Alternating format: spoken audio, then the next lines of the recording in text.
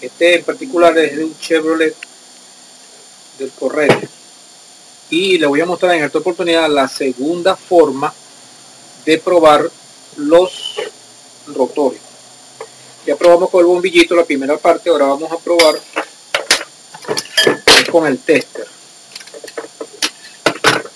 Colocamos el tester en la escala de ohmios, escala, escala de ohmios y en la escala más bajita. Medimos, hacemos aquí y este tester me da 3 ohmios. Debería dar cero resistencia, porque solamente que estará midiendo la resistencia del cable. Lo que pasa que debe ser como que tiene la pila un poquito baja, no me marca exactamente. Sin embargo, aquí me mide 3. Me mide 3. Bueno, para saber la, el ohmiaje que debe tener esta bobina que está aquí, pues esta bobina tiene un largo y, ese, y a esa distancia de, de ese cable produce una resistencia. A, más largo el cable, más resistencia. Los ingenieros calcularon el, tan, tan largo, tanto de largo, el cable produce tanta resistencia. Ahora, ¿cuánta resistencia debe tener? Debería tener un, una bobina. Bueno, dependiendo del alternador, en este caso, este es un alternador Chevrolet y fui por allá donde los embobinan y eso, y el señor me dijo que el embobinado está entre 3 ohmios, 3 ohmios a 6, por ahí cerca. 3 o casi 3 y 6, por ahí cerca.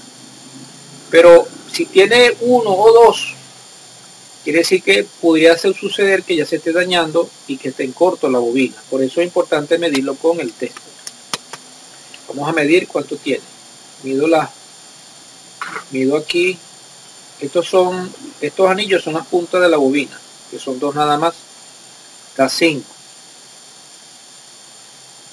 Me mide, me mide 5, pero como solo me mide 2 o 3, entonces quiere decir que tiene 2 ohmios y piquito, casi 3. Está casi de la, escala mínima de 3 ohmios.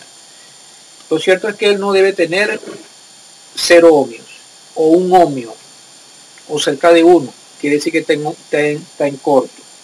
En la última parte de esto le mostraré por qué no debería estar, qué significa que tenga poquito un ohmio o 2.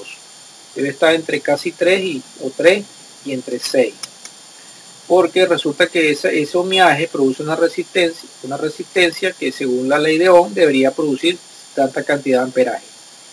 Si él está en corto, el amperaje sería mucho mayor, en caso que el corto esté entre las espiras, pero no con, no, con la carcasa, entonces está el, por aquí, como está en corto, producir un alto amperaje, metiéndole 14 voltios y medio, producir un alto amperaje, ese alto amperaje, pasaría, querría pasar por el regulador y por eso que el regulador no está diseñado para, para trabajar con tan alta corriente y por eso se da cuando él esté en corto.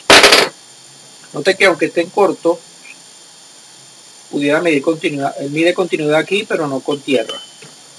Por eso es que esta es la segunda manera de probar correctamente un rotor con el ohmiaje, midiendo la resistencia.